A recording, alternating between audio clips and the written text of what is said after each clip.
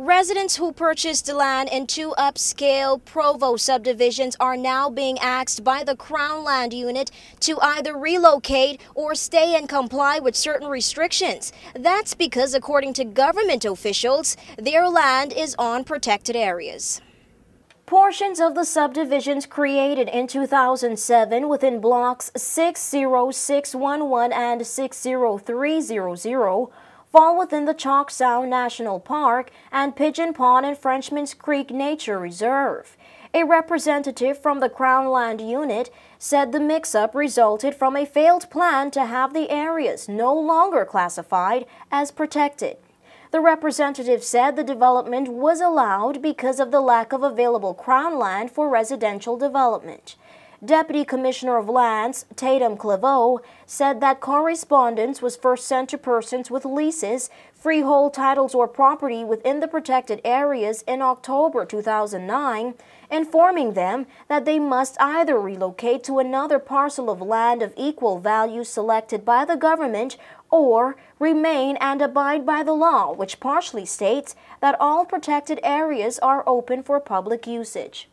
Meanwhile, Claveau said that the government is in no position to amend the law because of the situation. But who is to be blamed? She said both parties. Firstly, the allocation of the land should not have occurred prior to the rezoning of that area from its protected area status. And also, the owners of the property should have checked with land registry to ensure that the property was free and clear of all encumbrances. This is not something that members of the public do when it comes to purchasing or developing crown land, but since it's done in private land dealings, landowners, she said, should have used their discretion. So what happens next? According to Claveau, replacement lots are now being identified, after which they will be approved by the governor. A letter offering the relocation will then be sent to homeowners with a six-month response deadline. Buildings that are already there might be used for recreational development.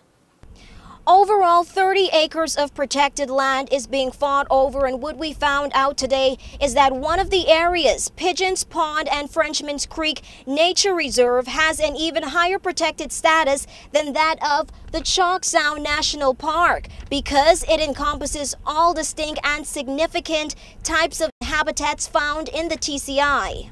Those affected have since formed a homeowners association making a more unified approach before the Crown Land Unit and is scheduled to hold a press conference within the next two days to tell their side of the story. Now we understand that the majority would prefer to stay where they are because it would be cheaper for the government and their presence will have no environmental impact. For that reason, the Crown Land Unit has invited these homeowners to make a plea before the governor to prove their claims. News 4 will continue to follow the story. I'm here at the Chalk Sound National Park. For WIV4 News, I'm Nikira John.